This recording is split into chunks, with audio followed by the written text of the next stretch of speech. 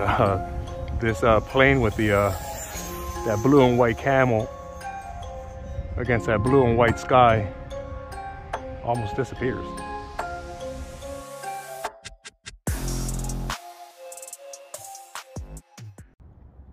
What's going on guys? We are back out here at the parking lot today and uh, we have a maid in here and uh, this plane needs no introduction. We all know what it is.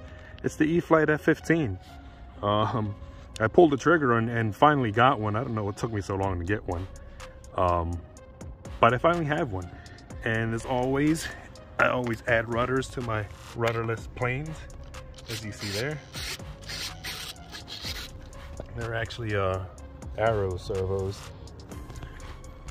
but yeah, we're gonna get a maiden on this guy and get her up flying. AR630, it comes with uh, pre-installed.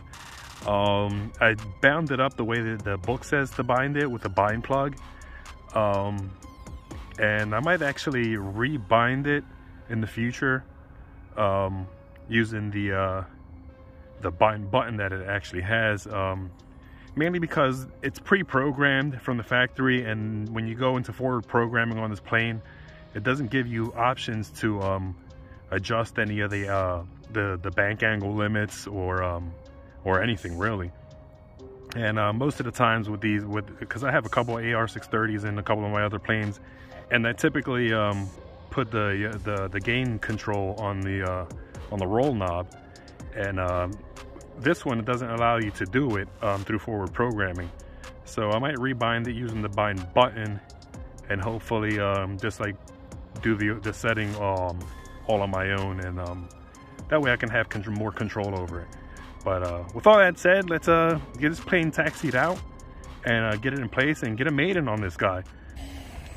Um, I did a little bit of ground test and uh, it's got a super wide turning radius, um, even with the, the rudder uh, trimmed all the way out. Um, do have a little bit of wind to deal with comes and goes. It gusts up into the teens from time to time.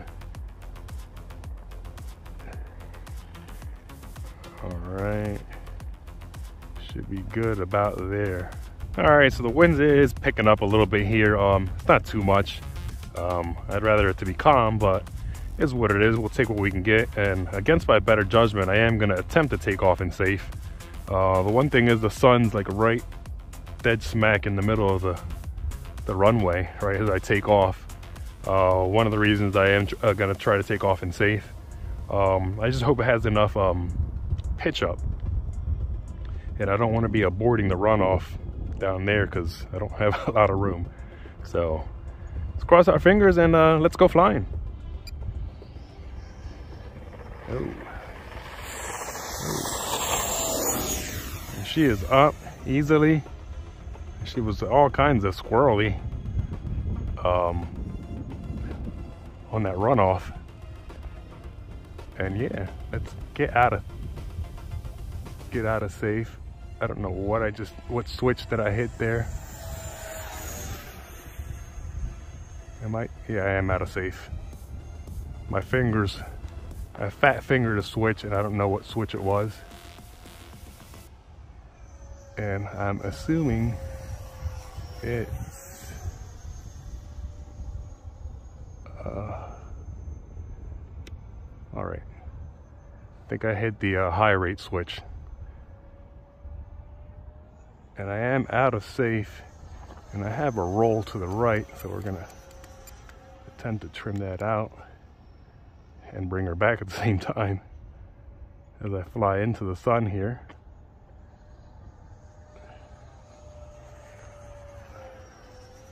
Seems to be fine. Um, seems to be lacking in the elevator department. One thing I noticed, it's still got to roll to the right. It might be the wind just pushing it. One thing that I did notice with this plane is um, kind of flying behind my back here. I'm just trying to get it trimmed out. One thing that I did notice is that the elevators don't have any spars in them. So they're really, really flimsy.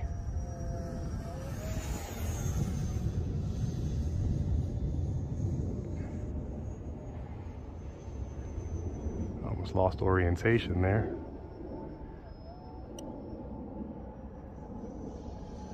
Seems to be flying. I don't know if I still have that roll to the right there. We're gonna click the rudders over because I feel like that might be a problem. That elevator is very, very, very washy. I don't like it. I'm gonna need to dial in more elevator throw. I don't really like how the elevator is really, really, really uh, flimsy.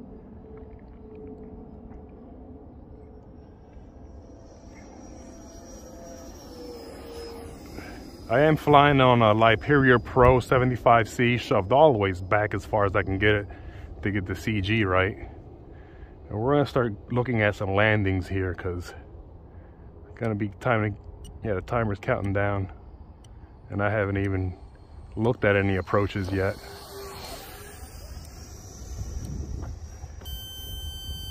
All right, there's the timer out. I should have enough uh, battery life left. I'm colliding a little bit. We're gonna throttle off there.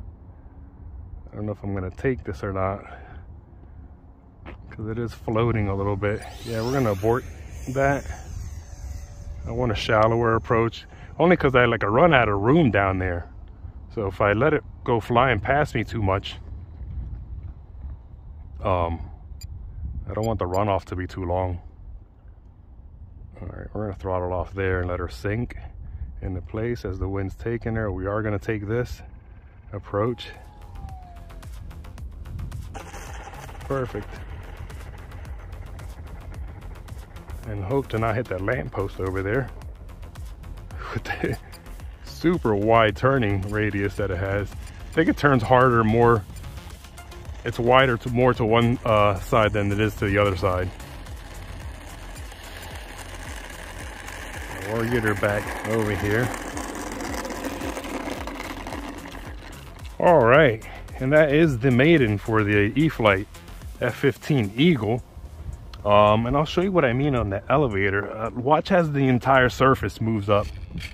I don't, know if, I don't know if the camera can catch that. If you see like the side of the elevator, like the whole entire surface kind of moves up and down.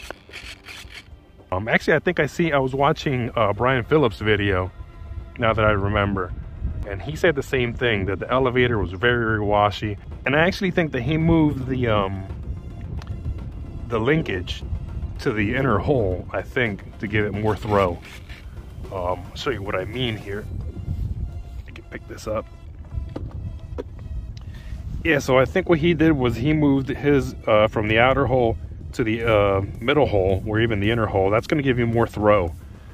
And um, actually might even move this to the outer hole here and then this one to the inner hole here and that should give me more throw in the elevator because um, it is it is very wa because it is uh, very washy in the elevator department um, there were some times that I thought I wasn't gonna uh, pull up like I came down out of a roll over here and man like I was full spec, and I, I didn't think I was gonna pull up out of the dive my nose cone kind of came up there a little bit.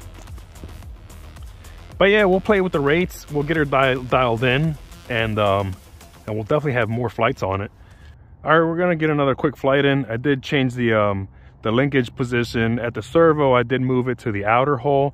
And then as I, as I was taxiing out, I realized I didn't put the clevis end to the middle hole like I wanted. I actually put it right back to the outer hole. But uh, I did dial in a higher. I'm at 100% uh, rate on the elevator now. So um, we're just gonna try it like that. Um, I didn't feel like bringing it back and redoing that.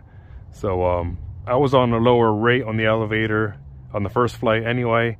So now I'm at 100% rate on the elevator with the rod linkage at the servo on the outer hole instead of the inner hole, the way they tell you to do it on the manual.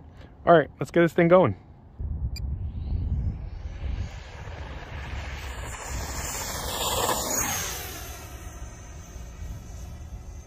I gotta anticipate uh, the way it turns on me on the ground handling.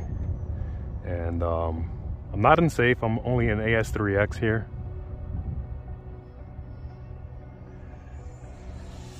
Let's uh, yank on that elevator. That actually feels so much better now.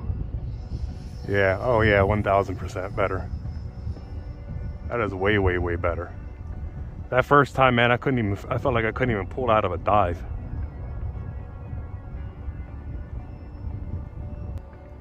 But man, this plane is, uh, as advertised by everyone else, it actually does fly really nice. And it's actually pretty fast too. Oh yeah.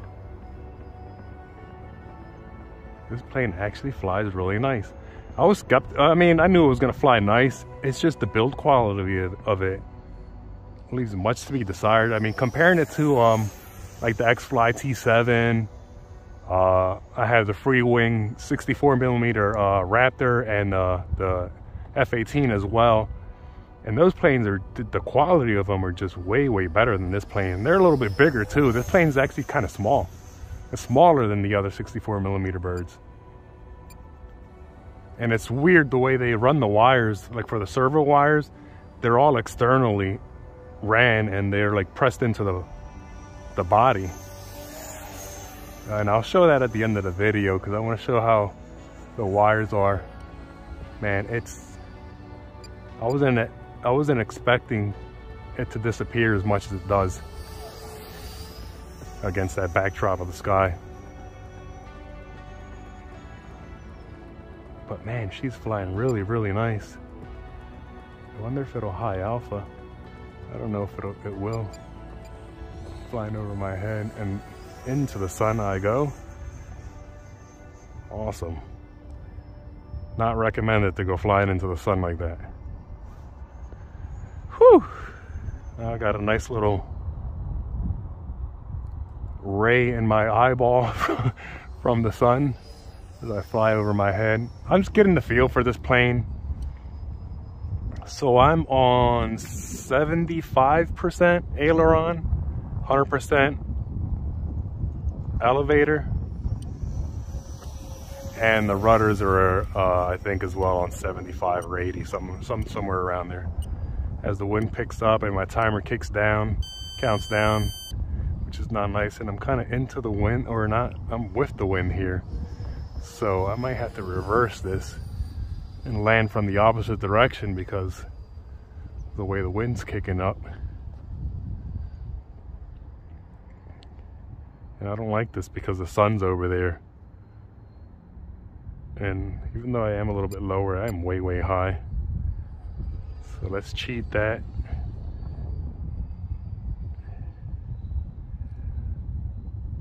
And just let her drop here.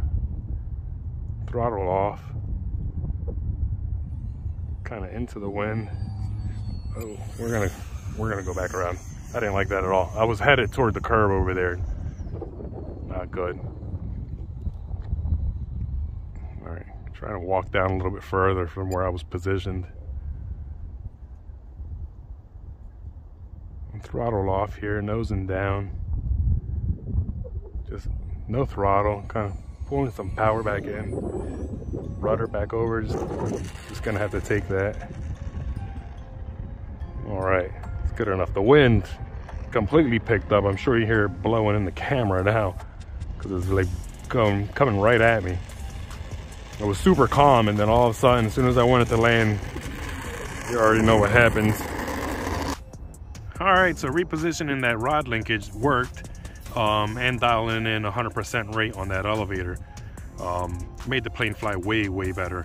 Um, and the plane is as advertised. Um, it does fly as good as everyone says this plane flies. This plane actually amazes me. Um, like I said, the build quality to me leaves a little, leaves much to be desired. It, it looks really cheaply built, in my opinion, compared to the other 64 millimeters in its class this plane looks, it's just, it, looks cheap to me anyway. So real quick, I flipped the plane upside down. I just want to show um, how I ran the wires for the, um, for the rudders. As you see there, this plane had some panel lines that ran back here. So I just used that panel line and cut into it and sunk my wires in. And then I made this channel here and ran them in because all the wires run in, underneath this, uh, this plastic uh, piece here. And um, just like I said, the wires all running externally. You can see the servo wire, the servos here and the wires are pressed here. and they actually um, they're covered by a decal, but they're instead of going into the fuselage like most other planes do, this one just is external, runs up, runs up all the way here, the length of this, so you can see the decal there, and into the this this plastic piece underneath the plane where all the wires run running the ESC is. In conclusion, however, this plane is absolutely it's a good plane. It's it, it, it's a must buy if you like 64 millimeter planes that are you know I, I love the 64 millimeter class of planes because they're so easy to transport. You throw them all in the back seat of your car, go to the field, you have a ball, you throw them back in the back seat of your car and you go back home. Like it's it's very easy. Listen, flying bigger planes is is definitely better than flying the little planes but uh, these are just so easy to transport and uh, and they are fun and this plane is actually uh, pretty fun as well but yeah that's gonna be it for me for today and um, I'll catch you guys in the next one